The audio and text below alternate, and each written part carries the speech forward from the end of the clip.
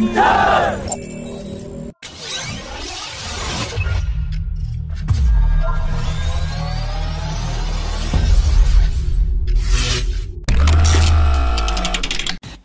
Top officials have said that the DRDO is in advanced discussions with the French firm Safran for a completely new engine, and this new engine complex is currently being established as a national mission to develop a 110 kN powered engine for the 5.5 generation AMCA fighter jet, and the engine is expected to start production within 7 years of starting the work. Safran has offered a complete technology transfer to develop the engine that will be processed under the offset credits from the 36 Rafale deal signed in 2015. The chairman of Hindustan Aeronautics has said that HAL is signing an agreement related to the technology needed for manufacturing the engines, and this technology will also be common to the engines of the Rafale fighters that can also be supported by Hindustan Aeronautics Limited. The first squadron of the AMCA fighters would need a foreign engine due to its first flight in 2025, but future squadrons would be powered by the DRDO Safran developed engine.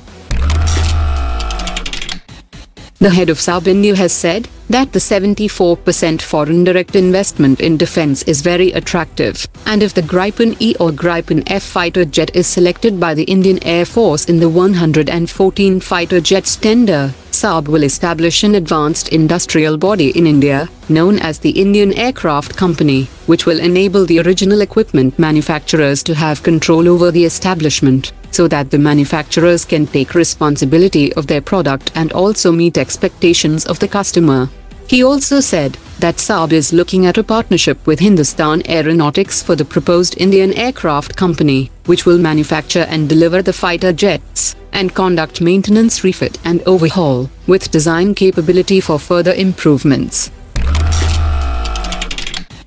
After being a long-term partner of Boeing on the P-8 Poseidon and Chinook helicopters for the last decade, India's Dynamatic Technologies has won a contract for delivery of tools for the Boeing Saab T-7A Red Hawk program, which is a new advanced pilot training system designed for the US Air Force that would train the next generation of fighter pilots.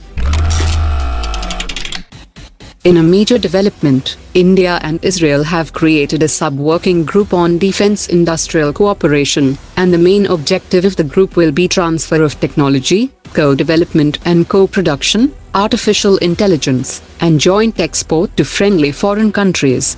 Defense secretaries and senior defense ministry officials of both the countries held a meeting today, during which they deliberated about enhancing defense cooperation, and this meeting is the first in the series of meetings with friendly countries, in order to boost defense exports, and achieve the defense export target of $5 billion per year by 2025.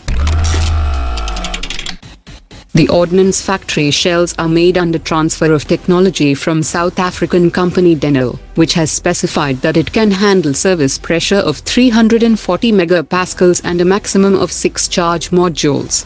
The 155mm Ordnance Factory shell was tested by the Advanced Towed Artillery Gun System with 7 charge modules to achieve a higher range, but using a higher number of charge modules might have increased the pressure, which might have led to such an incident. A spokesperson for the Chinese Ministry of National Defense has said that the first two aircraft carriers have completed sea trials and routine training, which was aimed at testing the performance of the carrier's combat systems and equipments. The third aircraft carrier had entered sea trial in May 2020, while the fourth carrier is under construction, and China plans to have six aircraft carriers by 2030.